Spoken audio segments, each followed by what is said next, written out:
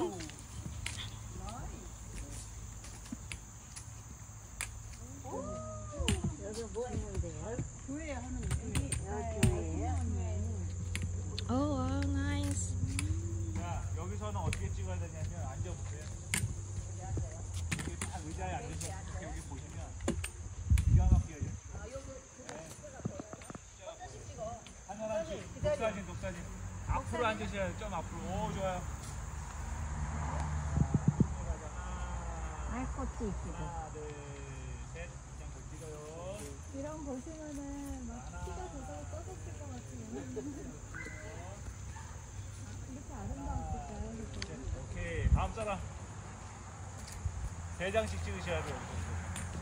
엄마 와요. 아니 한 사람씩 한 사람씩 독사진. 자,